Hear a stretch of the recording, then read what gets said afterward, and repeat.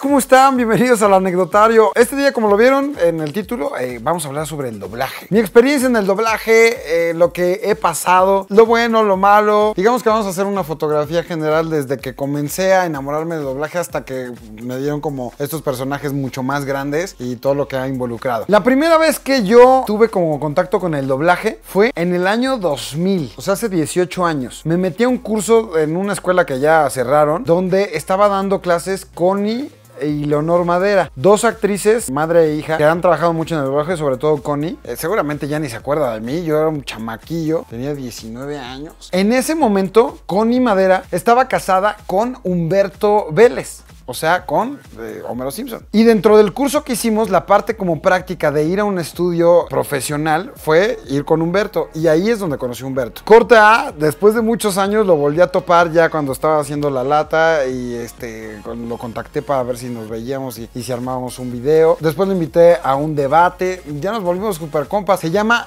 Humberto Vélez Montiel, entonces nos decimos primo de cariño. Ya no está casado con Connie, ahora pues, ya de, como de grandes pues nos llevamos muy bien, ¿no? Es una persona que le tengo mucho aprecio, inclusive salió en escorpión al volante cuando hice escorpión al volante con Diablito y lo topé. Es un cuate a toda madre, me cae muy bien Humberto. Ese pinche güey yo lo conozco, es el que hace la pinche voz de Homero Simpson. ¿En serio? A ver, a ver, a ver, que nos haga. ¿Cómo estás, pinche? ¿Cómo Primo estás, güey? muy bien, Ya, cabrón. te súbete, güey. Súbete, ándale. Después de ese curso que hice especializado en doblaje, pues estaba muy chavo, todavía, o sea, estaba en la prepa todavía, eh, iba a entrar a la carrera después, todavía no hacía mi, mi formación profesional. Ya cuando entró a la licenciatura de periodismo, al mismo tiempo me meto a un centro de capacitación de cursos de comunicador, a la Raúl del Campo. Y dentro de las materias que estaban, estaba conducción, actuación, producción, radio, tele, etcétera, y estaba doblaje. Y ahí conocí a Jessy Conde. Ah, pero antes tuve otro acercamiento con el doblaje que se me hizo muy curioso. Creo que la primera vez que me empecé a enterar un poquito más fue gracias a una compañera de la escuela. Estuve en un año de secundaria en una escuela que se llamaba El Patria de Juárez y ahí estaba Christine Birth. Christine era mi compañera de clase y ella también tenía una prima que hacía doblaje. El punto es que ya estaba trabajando como súper intenso en el doblaje Christine y se me hizo muy curioso esta parte de, los actores y actrices que estaban eh, chambeando en esta especialización, en esta especialidad de la actuación. Me gustó, me intrigó y se me metió ahí como la semillita. Después entré a ese curso que les digo y más adelante ya cuando comencé mi carrera profesional, mi formación de carrera profesional, estaba Jesse Conde. Es conocido en el medio como el Padre Santo, que hace poquito eh, dio una conferencia porque junto con Humberto Vélez, de hecho, porque regresó el, el elenco original de doblaje de Winnie Pooh. El punto es que me hago buen amigo de eh, Jesse y ya empezamos como a cotorrear y él fue de los primeros que me llevó a las cabinas profesionales a hacer castings y demás, a hacer personajititos así micro, micro, microscópicos personajes. en alguna serie o en alguna peli, como de ambiente nada más que hacen, "Uh, yeah, uh", o sea, muy chafa, muy X. Y ahí comencé ese rollo. También Jesse me presentó a Alfonso Obregón, lo llevó a hacer, a dar como una clase. Y ahí lo conocí, buena onda, me llevé chido. Entonces todo el resto de mi vida fue como, este, llevándose alternativamente con el doblaje. Cuando yo hacía alguna práctica profesional, estaba en la escuela de periodismo, invitaba a los actores de doblaje para que nos dieran alguna entrevista y, y me hacían favor de ir. Yo creo que ni se acuerdan ellos. O sea, Alfonso Obregón lo llevé a la Septien alguna vez, dio una super entrevista, lo entrevisté junto con una amiga, con Barbie. Estuvo muy divertido. Y más adelante,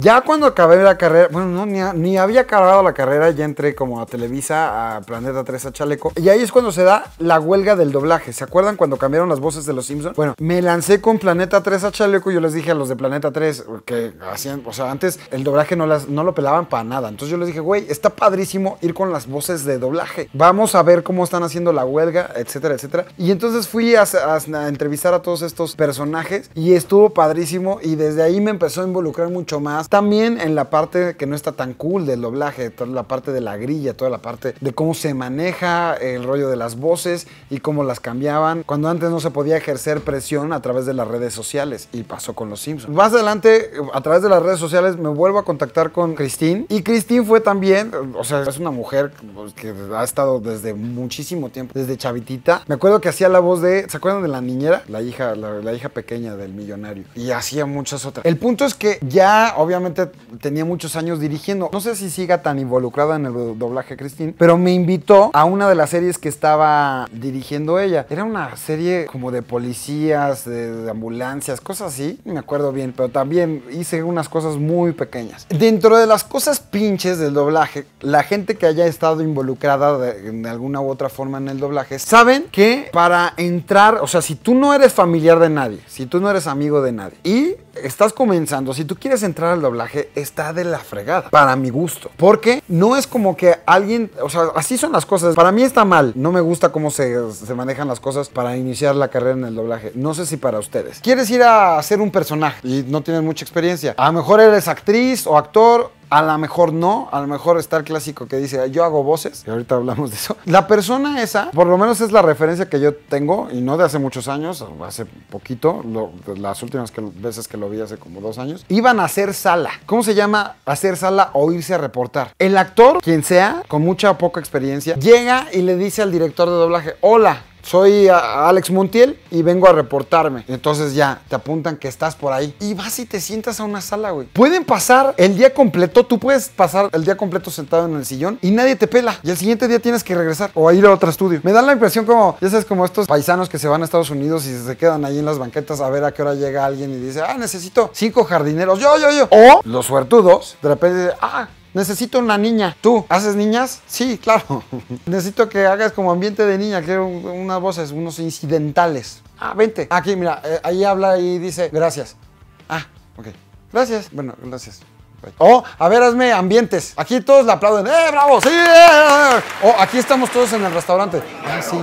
¡Ay, qué buena está la sopa! Sí, qué. Y ya hiciste 75 pesos pues, por estar todo el día ahí. 35 pesos. No sé, güey. O sea, lo- los sueldos también son un desmadre, ¿no? Te pagan por loop. Cada tantas palabras o cada tanto tiempo que estás grabando, ¿no? Hablo de tiempo en la pantalla. Y ya te sacan como la cuenta y así. El punto es que eso está de la fregada. Para mi gusto sería mucho más padre eh, que hicieran un casting y ya los tuvieras y das llamado. Porque bueno, ya los actores de muchos años les dan llamado, obviamente. Oye, necesito una voz de Bruce Willis. Ah, pues le hablan a Mario Castañeda.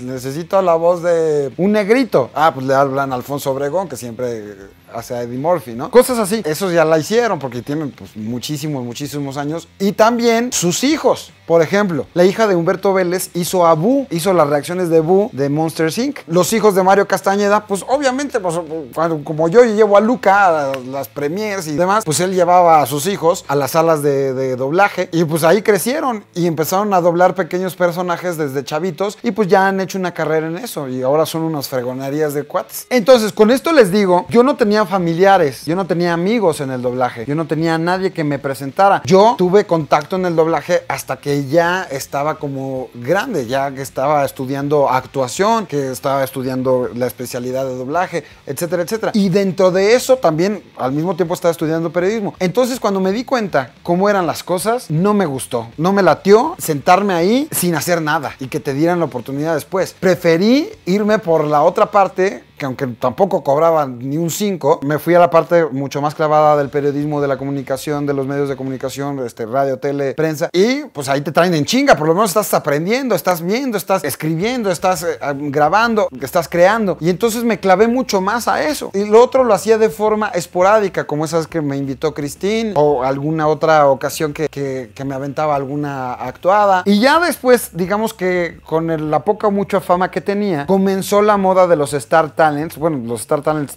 desde hace mucho tiempo han estado presentes. También existe mucha polémica acerca de eso porque dicen, bueno, antes, antes no existían Star Talents. Antes agarrabas a los actores de cine y los metías a hacer doblaje, como el caso de Tintán y otros muchos tantos. Busca lo más vital, no más lo que es necesidad, no más. Ya después se especializaron muchos actores en el doblaje. Entonces ya las estrellas de televisión o de cine eran invitados del doblaje y los consideraban como Star Talents. Ya después llegaron los Star Talents youtubers de doblaje. Digamos que eh, de los primeros casos que sonaron y con los cuales eh, hicimos como tour de medios, entrevistas, que fuimos Luisito Rey, Cristian, El Güero y yo. Hicimos unas gaviotas de Bob Esponja. En ese doblaje de Bob Esponja, adivinen quién era el director.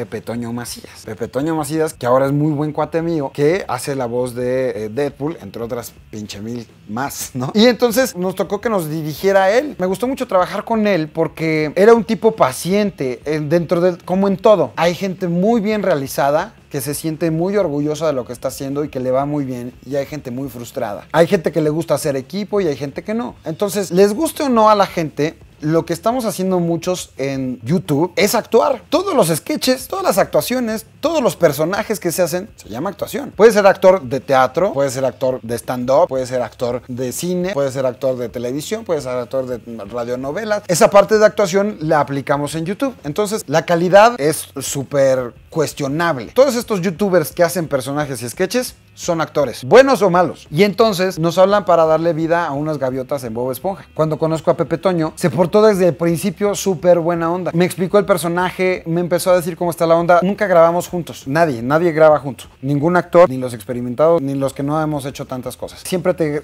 hacen como una sesión para ti solo, y entonces nada más grabas tus partes y ya después las van editando y las van juntando. Tanto Luis como el güey como Cristian y yo estuvimos separados cada vez que llegamos a la cabina. Y ya, Pepe Toño se portó tipazo. Creo que le gustó mucho cómo, cómo hice las cosas. Vi la, la gaviota, era una gaviota muy chistosa, se llama Kyle, tierna. Y entonces decidí ponerle la voz que ahora ustedes conocen como la voz del, del escorpión dorado. En realidad esa voz yo siempre la he usado para cosas, o siempre la había usado para cosas tiernas. La usaba en radio para un personaje que se llamaba La Comadreja. Me inventé un, un personaje que daba notas como de ecología y entonces era muy tierno. Y hablaba así, y era una comadreja pequeña, chiquita, bonita. Y entonces lo metí a Kyle, ¿no? Entonces para mucha gente, ah, es el escorpión dorado. Pero sin groserías, pues porque es una película para niños. Y entonces me encantó poder darle magia a través de ese personaje que pude como este cambiar esa voz y pude adaptarla a eso. Un momento.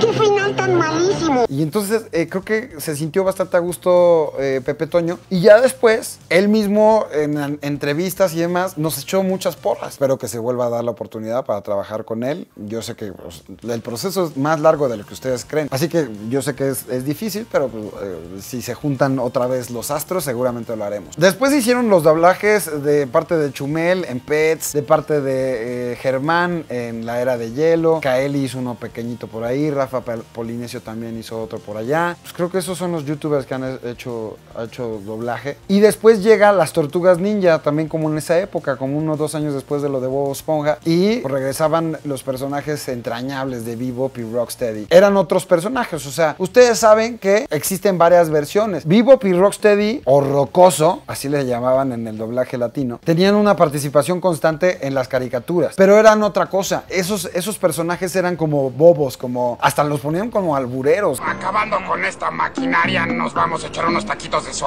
perro, ¿no? Ay, sí, yo te voy a invitar unos de cabeza para que te sientas a gusto. Así eran los personajes, pero ahora en esta adaptación live action llegaron pues con este rollo como de pandilleros, de mutantes y demás. Entonces nos invitan a mi hermano y a mí a ser a los villanos de las tortugas ninja. Y entonces hicimos eh, el, el casting, porque ese casting se manda a los productores internacionales, a Paramount, y ellos lo aprueban. Y dicen, sí, va, órale que se arme. Y entonces pues estuvo padrísimo también ahora ser parte de, ese reto porque la diferencia de la, de la gaviota que hice, pues en primer lugar era el quíntuple de tiempo en pantalla, ¿no? Y en segundo lugar, no es lo mismo doblar a una gaviota que nada más hace así, a una persona real que coloca la lengua, que mueve los labios, que dice las heces y que grita y que hace más, o sea, es toda una técnica distinta grabar un live action, porque tanto Vivo como Rocksteady tienen una parte donde son humanos, entonces teníamos que hacer eso también. Y fue un reto súper chido. Ahí el director fue Héctor Emanuel y por lo menos lo que yo viví en el estudio es que al principio me dijeron, te vas a aventar para ti,